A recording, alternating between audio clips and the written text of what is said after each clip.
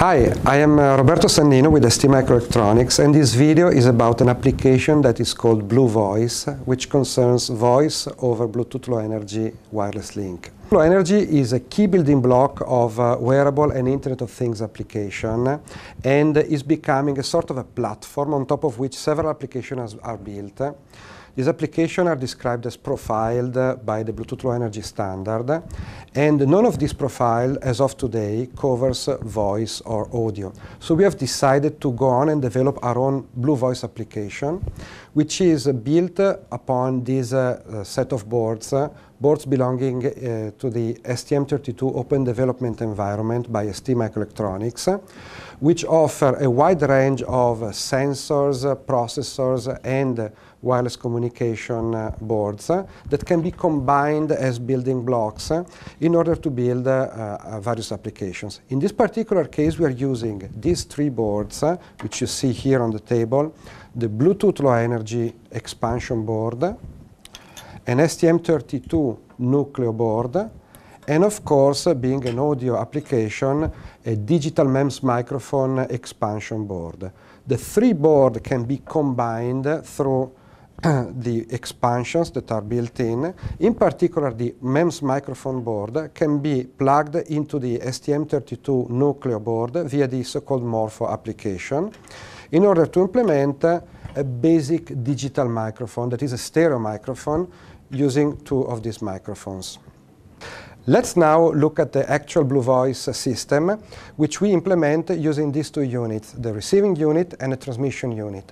The two systems are built with the same set of Nucleo expansion boards, and in particular in the receiving unit, the audio expansion will be used to stream the decompressed audio into uh, a recording unit like a PC in this case.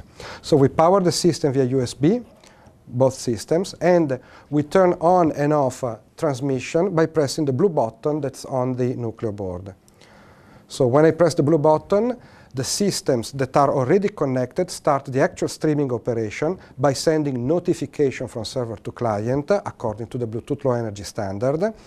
And by pressing again the blue button, I can stop the streaming uh, operation while the system keep the connection open. So let's turn on the actual wireless microphone and when I speak into the microphone you will see my voice received and uh, decompressed and displayed on the monitor of the PC as you can see now through the Audacity facility. Speech recognition is a very important functionality for wearable and Internet of Things system. And now we show how the voice processing that is performed within the Blue Voice application doesn't alter the quality of audio and makes it uh, suitable for uh, uh, voice commands, for example. We're going to talk into the Google API, uh, APIs for vocal search. Let's turn on the system. Take me to Milan Expo 2015. As you can see, the audio has been perfectly recognized by the Google uh, Vocal Search APIs.